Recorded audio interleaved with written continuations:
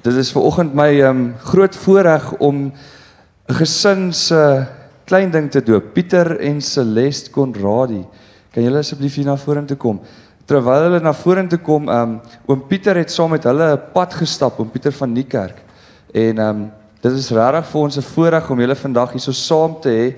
Nou die doop kom eintlik al 'n lang pad saam. As ons terugdink dan het die doop al begin by Abraham en toe God vir hom gesê het, hoorie maar, ek wil vir jou 'n God wees en ek wil vir jou vir jou volke God wees. En daarom het ons ehm um, kinders of nie ons nie 2000 3000 jaar terug het hulle kinders besny en toe na Christus het ons ehm um, het ons dit vervang met die doop. En dit is hoekom ons vandag 'n klein babatjie doop. Dit is om te sê, hoorie, maar die Here stap al 'n ongelooflike lang pad saam met ons as mens. Die Here wil daardeur vir ons kom wys hoe lief het hy ons regtig. En ehm um, die doop wys vir ons dan presies net van daardie liefde, dat God lief is vir ons, maar dat Jesus Christus gekom het om vir ons te sterf en ehm um, vir ons die heil te bewerk. En dan derdens wys die doop ook vir ons dat die Heilige Gees in ons woon en elke liewe dag saam met ons is. Julle kan nou vir klein Minke vorentoe laat kom.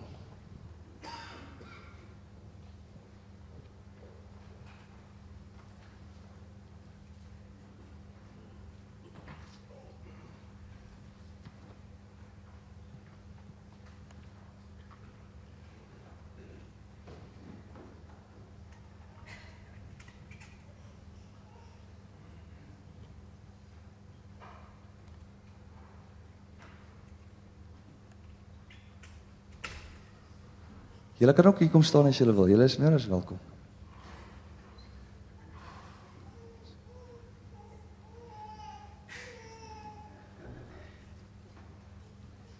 Nou voor ons vir Menke gaan doop, het ek net vir julle drie vragies wat ek vir julle gaan vra waarop julle daarna kan ja antwoord of nee as julle wil.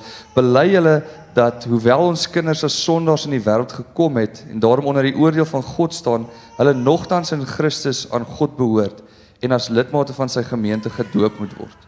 Aanvaar julle die Bybel as die woord van God en aanvaar julle die leer van die kerk soos die belydenisskrifte dit verwoord as die ware en volkomme leer van die verlossing.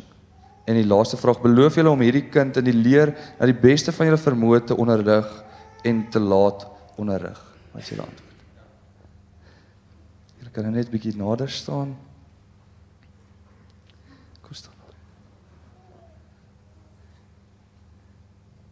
Minke Konradi, ek doop jou in die naam van die Vader en van die Seun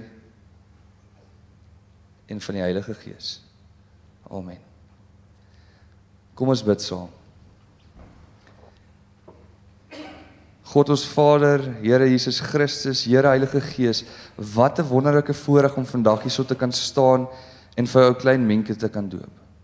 Dankie dat ons in hierdie handeling kan sien en kan terugdink aan al die jarelange pad wat U as as God al saam met ons as mense loop. Dankie dat ons hier in U liefde kan sien.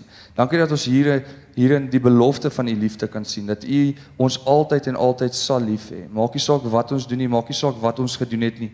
U het ons lief. Ek wil sommer bid vir die Konradi gesin dat U hulle sal seën en dat hulle elke dag deur Menke U liefde sal kan ervaar.